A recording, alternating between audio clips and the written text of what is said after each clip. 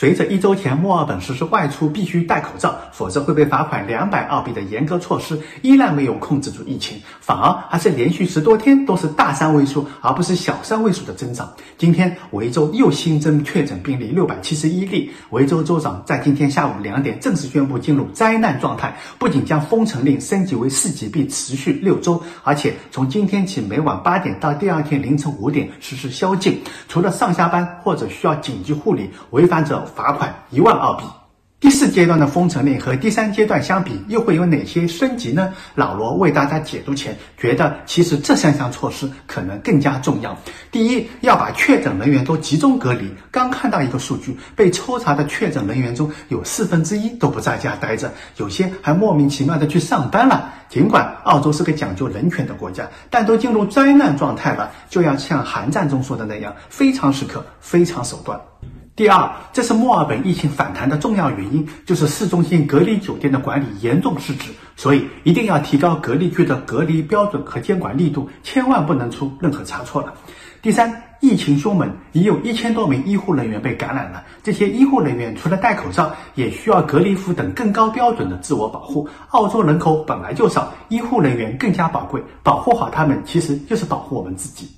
当然，以上三点归根到底，老罗总结为一点：疫情期间，每个人都觉得自己比州长还牛。其实不在其位，很难理解每一项决策的做出都意味着对其他所有选择的放弃，其中的压力和责任感是我们根本无法想象和体会的。比如我刚才所说的第三点，隔离服又不会说有就有，从天上掉下来。听说维州政府三月份向某个国家购买的一批防疫物资，到现在还被扣在那个国家。面对今年人类的这场灾难，其实每个国家的政府都蛮难的。所以，我们所需要做的就是好好的遵守第四阶段的封城令。一起来看看和第三阶段相比又有哪些提升呢？第一，购物不得超过家五公里，每个家庭每天只能有一人外出购物一次。当然，这个五公里范围也不是一刀切，如果离你家最近的超市有六公里，那也是允许的。第二，锻炼，每人每天最多一个小时的户外锻炼，而且不允许两人以上同行，并需要戴好口罩。